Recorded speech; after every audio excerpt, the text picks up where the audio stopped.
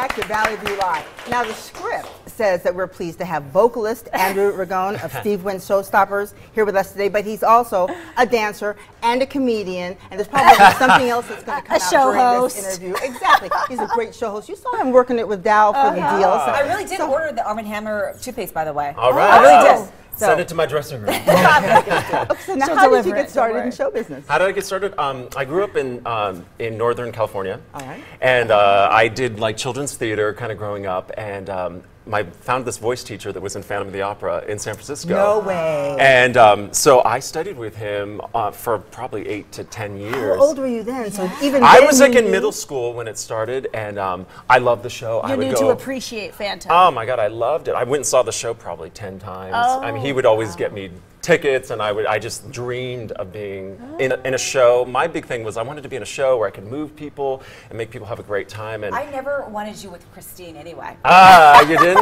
You yeah. want it for yourself? I, like I said, she'll deliver that toothpaste to You your don't do hair, so she said forget it. Ah, okay, okay.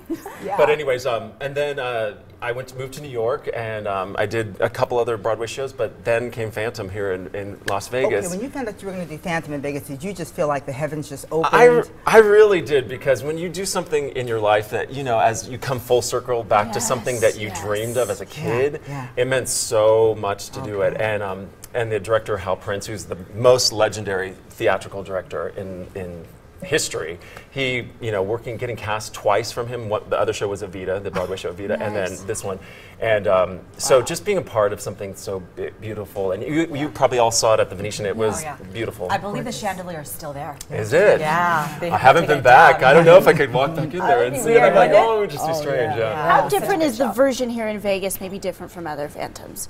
Uh, the, the version here was pretty close. It had a lot of added elements when it was here, and it had just more. It had to be more Vegas. That's why it was so successful here because I think it made it a special Vegas moment. Yeah. So, um, but it's great being back in this show because we get to do songs like that, but then a lot of other different material. So you're never kind of just doing one role. You get to, like you said, you get Yeah. to dance. You have to sing. You have to, you know, Exactly what you you wanted to do as a kid. yeah, exactly. And that's the stuff that when you do a show called Showstoppers, I mean, there's a lot of pressure internally, I feel. Each night I have to go out there and make sure this audience is entertained. And we just hope at the show, all of us, there's six of us um, principal vocalists and 29 dancers. I mean, 31 piece orchestra, which on Broadway, they're lucky to have like 15. So if anyone's never seen a 31 piece orchestra or heard that, it- you sit in our audience and it's like starts from the top, it just blows you away. And I think what our big thing is just leave the audience with joy and entertainment and and they walk out. I mean, we get we've been so lucky we had standing ovations every night. Oh, I mean, I mean wow. for a new show to be a brand new show on the strip, we